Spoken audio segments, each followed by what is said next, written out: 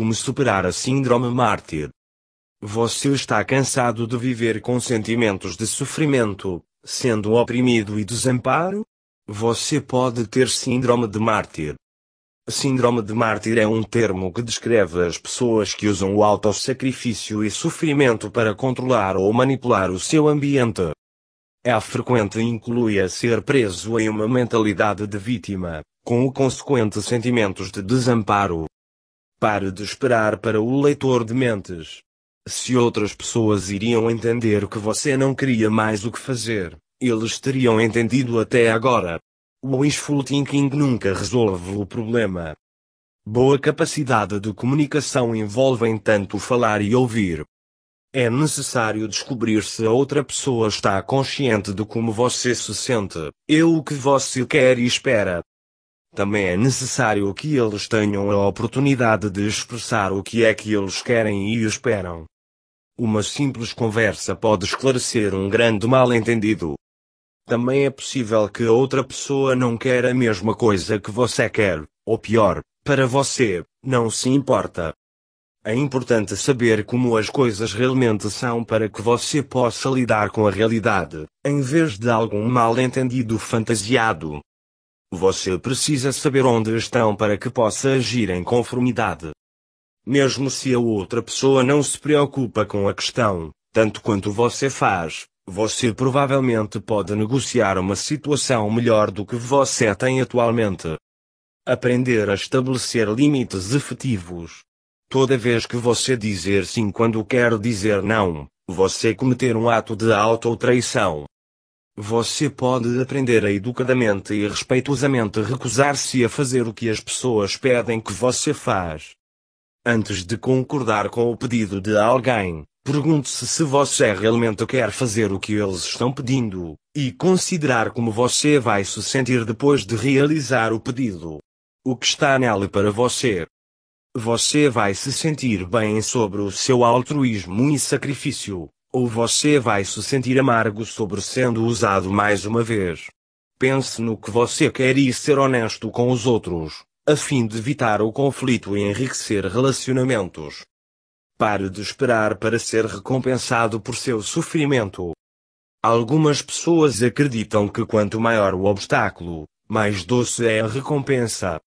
Eles oferecem para suportar a dor e negligência com a esperança de ser recompensado de alguma forma.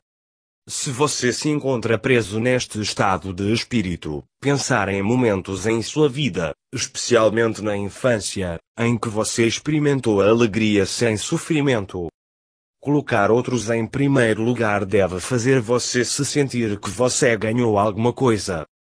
Faz você se sentir valorizados, insubstituível ou respeitado?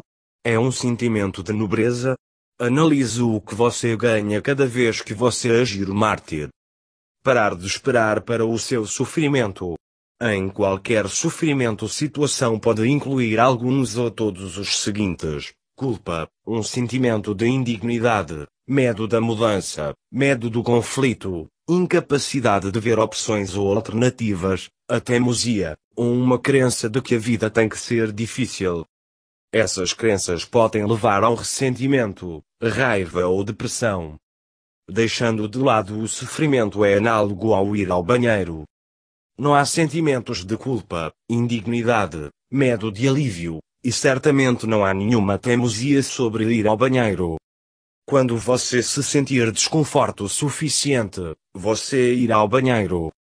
Olhe para segurando em sua sofrendo da mesma maneira, Socorro é possível, é uma coisa boa e você é digno dele. Examine suas crenças. Martírio está intimamente associada com muitas das religiões do mundo em termos de pessoas sofrendo e morrendo por suas crenças. Quais são as crenças que você está sofrendo de? Você está tentando viver de acordo com um padrão impossível? Exigindo a perfeição de si mesmo? Sentindo culpado? Você está acreditando o seu crítico interior? Uma boa pergunta para si mesmo ao longo do dia é: Eu estou gostando do que estou fazendo agora?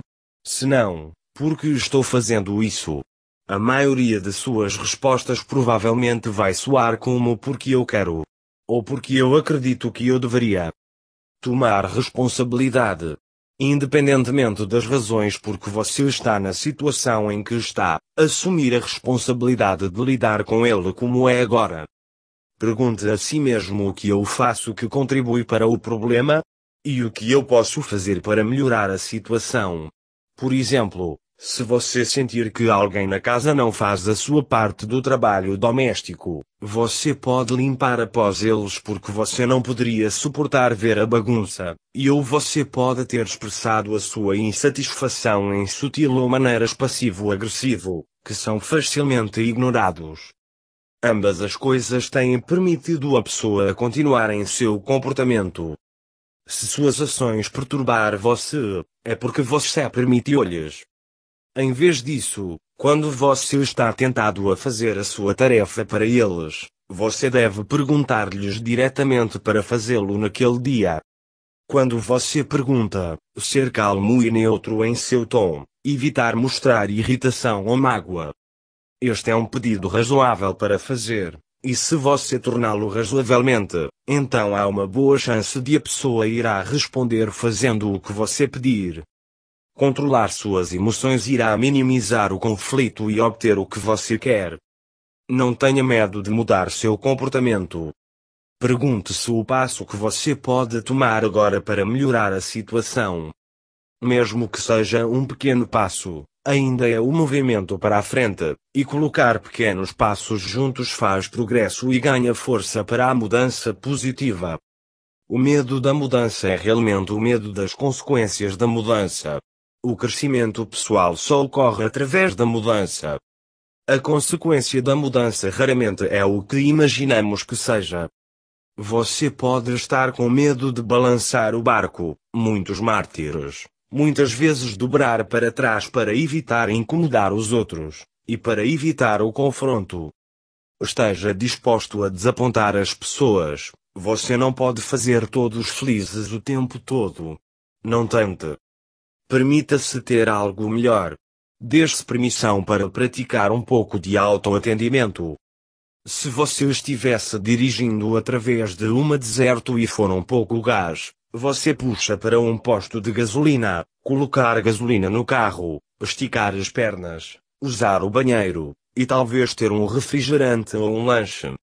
Em suma, você iria praticar um pouco de autocuidado sensata.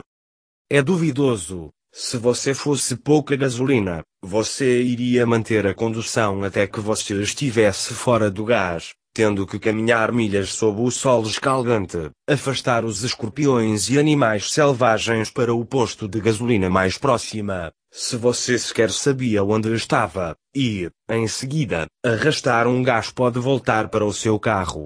Dê-se permissão para se envolver em um pouco de autocuidado, seu carro não pode ser executado em um tanque vazio, e nem você pode. Todos os dias, levará algum tempo para fazer a cura algo ou cumprindo para você. Tome um banho de espuma, exercício, escrever em um jornal, ou meditar por uma hora. Se você regularmente gastar tempo na autocuidado, você vai recarregar as baterias e ser menos drenado de lidar com os outros.